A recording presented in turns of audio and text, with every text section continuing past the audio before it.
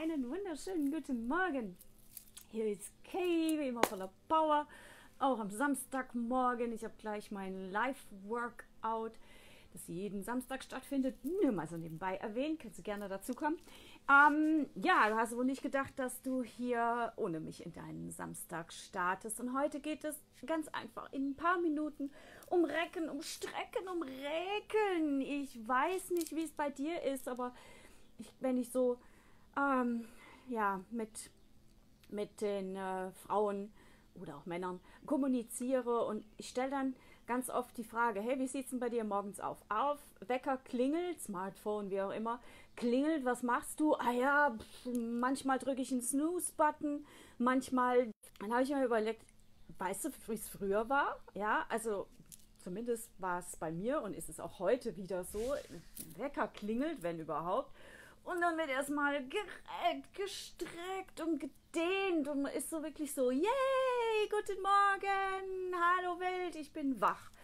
Ja, das kommt heute ganz, ganz selten vor. Und da man ja sobald der Fuß ähm, den Boden berührt, ne, ist man ja schon im Hamsterrad drin. Ne? Das sind Sachen gemacht. Und selbst wenn du nur in die Küche rennst zu deinem Kaffee, aber das gehört ja so zu deinem Morgenritual und das darf gemacht werden, genießt es eventuell auch, aber du das ist schon Teil deiner, deiner täglichen Routine, sprich deines Alltags. Und dann kommt man ganz selten dazu. Äh, meine Power-Mädels und meine Mission-Mädels, bei denen ist es ganz anders. Die kriegen nämlich morgens als allererstes auf ihr Smartphone das Workout des Tages. Ah ja, sind wir schon fertig mit Essen. Das Workout des Tages, sprich, die kommen da gar nicht drum rum. Aber es ist ein anderes Thema. Wir auf jeden Fall ähm, dehnen jetzt mal ganz kurz, bin auch gleich wieder weg, damit du dann ganz entspannt in dein Wochenende gehen kannst. Und wir machen jetzt einfach mal so, als wären wir noch im Bett. Vielleicht bist du eventuell sogar noch im Bett. Das heißt, du legst dich hin. Legst dich auf den Rücken. Ah ja. Hi Margot. Jetzt wird's spannend. Jetzt kommt Chewie. Du legst dich auf den Rücken und du nimmst mal die Arme über den Kopf und streckst dich lang, no licky. Und streckst dich lang. Zieh mal richtig die Arme nach hinten. Spreiz die Finger. Stell dir vor, da hinten steht jemand und zieh dich richtig lang. Und dann kannst du hier mal in den Wechsel gehen. Einmal links Seite, einmal rechte Seite, links und rechts. Und kommst zurück zur Mitte dann kannst du die Arme da ganz entspannt ablegen und jetzt machst du das mal mit den Beinen. Das heißt, du bringst Spannung in die Beine, streck mal deine Zehen und dann machst du hier auch einmal linke Seite, einmal rechte Seite. Ja, jetzt wird da vorne jemand stehen und dich mal so richtig schön lang ziehen. Ich weiß es von den Gesprächen, das wünschen sich die, die meisten Leute, ach, wenn es nur irgendwie so eine Art Streckbank gäbe, wo man sich ganz sanft in die Länge ziehen kann, dass sich mal die ganzen Verspannungen lösen. So, also machen wir das mal mit beiden. Also Arme lang, Finger spreizen. So richtig viel Spannung in den Körper bringen und dann lässt du alles los. Und dann stellst du die Füße nacheinander auf, bringst die Knie nacheinander zur Brust, nimmst die Hände an die Knie und jetzt hebst du den Kopf und den Oberkörper. Du machst dich ja ganz klein. Roll dich mal ein wie so ein Igel. Richtig schön klein, kannst auch hier von Seite zu Seite. Gibst du gleich mal deiner Brustwirbelsäule, deiner unteren Brustwirbelsäule, ähm, eine kleine Massage. Gut. Und Achtung, mit dem nächsten Einatmen löst du die Hände. Du streckst die Arme lang nach hinten und die Beine lang nach vorne. Und hier ist es jetzt wichtig, je tiefer du mit den Beinen gehst, desto effektiver ist es für deine Bauchmuskulatur, aber desto mehr Spannung brauchst du auch da drin. Das heißt, du solltest auf keinen Fall ins Hohlkreuz kommen. Wenn du damit Herausforderungen hast, nimm die Beine höher.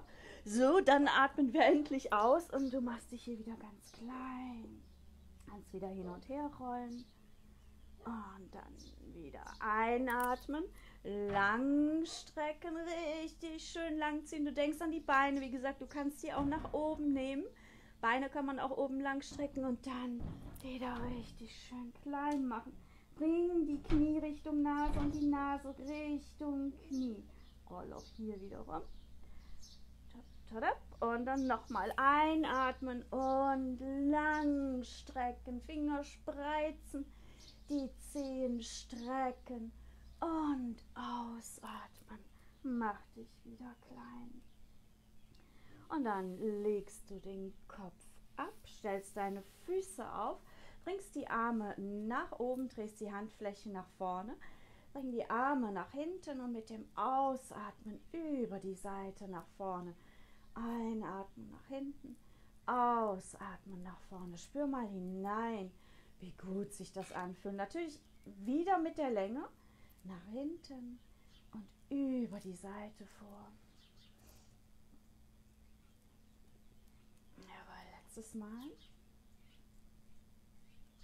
Ja, und dann lässt du die Arme liegen und dann bringst du beide Knie zur Brust, streckst beide Beine lang nach oben, nimmst die Hände an die Beinrückseite und zieh dir mal die Beine ran. Wenn du die Füße flex nimmst und die Fersen nach oben schiebst, dann kannst du das noch verstärken, bringst dann noch mehr Länge in deine Beinrückseite. Wenn du möchtest, wanderst du jetzt mit den Händen nach oben und ziehst dir die Beine noch näher ran. Und dann wanderst du mit den Händen nach unten und wenn du jetzt möchtest, du kannst es dir ja mal vorsichtig angucken, legst du die Arme ab, streckst die Füße, flexen. Jetzt kommt die mega geniale Übung, die so entspannend ist. Aber ich gebe zu, anfangs ist sie auch ein bisschen anstrengend. Und zwar bringst du jetzt deine Beine nach hinten und senkst die Füße Richtung Matte. Du kannst dich hier stützen, ja, du kannst hier wirklich deinen Rücken stützen und hier streck die Beine lang. Das geht auch angewinkelt, das heißt, du kannst hier so die, die Knie Richtung Augen setzen. Ja, dann hast du aber natürlich nicht so diese Dehnung, die du richtig gut gebrauchen kannst. Und dann gehst du ganz langsam und kontrolliert, ohne Oberschenkelkrampf, wieder zurück auf die Matte. Und beugst deine Beine, nimmst die Hände an die Knie und rollst hier Seite zu Seite. Wie gesagt, das war jetzt ein bisschen herausfordernder, aber ich musste sie dir einfach mal zeigen, weil es so eine geniale Übung ist. Heißt der Pflug und sie ist so wohltuend und man kann sich ja langsam aber sicher dahin arbeiten. Dann kommst du zurück zur Mitte. Letzte Übung. Wir stellen die Füße auf. Du streckst jetzt dein rechtes Bein lang, holst dir das linke Knie ran, nimmst die rechte Hand an das linke Knie und streckst den linken Arm nach oben weg. Jetzt ziehst du dein linkes Knie nach rechts, soweit es geht. Du siehst, hier geht Po und Hüfte mit und du schaust nach links oben zur Hand. Tief atmen. Dein Schulterblatt, dein linkes Schulterblatt bleibt liegen und du kriegst jetzt hier wirklich in den Po, in den unteren Rücken eine wunderbare Dehnung. Und dann kommst du langsam zurück zur Mitte. Dann machen wir das Ganze natürlich noch auf der anderen Seite. Rechts ran, linke Hand an das rechte Knie, den rechten Arm nach hinten und dann hier das Bein komplett zur Seite bringen. Hüfte geht mit, aber rechtes Schulterblatt bleibt liegen und du schaust nach oben zur rechten Hand. Schön weiteratmen, nicht die Luft anhalten. Jawohl, und dann kommst du langsam zurück zur Mitte, stellst den Fuß auf, streckst das Bein lang, bringst nochmal die Arme nach hinten und wie zu Beginn recken, strecken, regeln.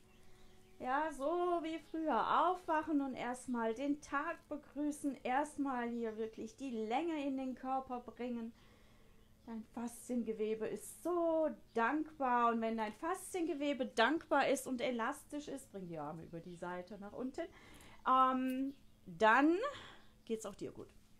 Füße aufstellen, kipp mit den Beinen auf eine Seite, bring den Oberkörper mit und komm hier über die Seite nach oben, setz dich in den Schneidersitz. Und richte dich auf. Die Schultern nach hinten, unten und dann schauen wir nach rechts, zur Mitte und nach links, zur Mitte und noch einmal pro Seite. Und zur anderen Seite. Ja, Weil, komm zurück zur Mitte, atme ein, bring die Arme über die Seite nach oben, verschränke die Hände, dreh die Handflächen nach oben. Und zieh dich hier lang. Gut, und ausatmen, bring die Arme über die Seite nach unten, lockere dich auf. Hi Margot. Margot ist die, ach, sie ist so ein Engel. So ein Engel. Ja, nun, jetzt kannst du ganz entspannt und gedehnt, gestreckt, geräkelt in dein Wochenende gehen. Am Montag startet übrigens die 14 Tage Body Flow Challenge. Ähm, auf meinem YouTube-Kanal, falls du den noch nicht abonniert hast, solltest du das definitiv tun. Es gibt jeden Tag ein grenzgeniales 7 bis 10 Minuten Video, also was, was man echt gut in den Alltag einbauen kann. Ähm, ja, und komm in deine Kraft. Also wird nicht mega anstrengend, wird aber definitiv effektiv. Und Hunde gibt es auch zu, anzuschauen. Ne? Wir haben nämlich hier gedreht. Wunderbar.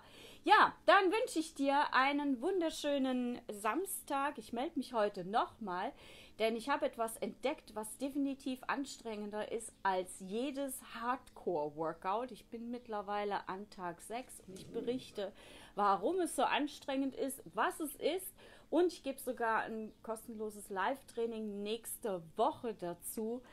Ich sag dir gigantisch. Ne? Also, was mich zur Verzweiflung bringt, ja, ich dachte, sowas gibt es gar nicht, aber das gibt es tatsächlich. Sehr schön. Genieß dein Wochenende, lass es dir gut gehen, sei ganz bewusst in jedem Moment und wir sehen uns im nächsten Live-Workout oder Impuls. Ja, und ich kann jetzt halt leider nicht auf Beenden drücken weil ich hier gerade kuschle. Oh, what's going on? What's going on? Go look. Go look. What are they barking about? Ja, jetzt kommt so Peter Lustig, Löwenzahn, ne? Ihr, ihr könnt dann schon mal abschalten.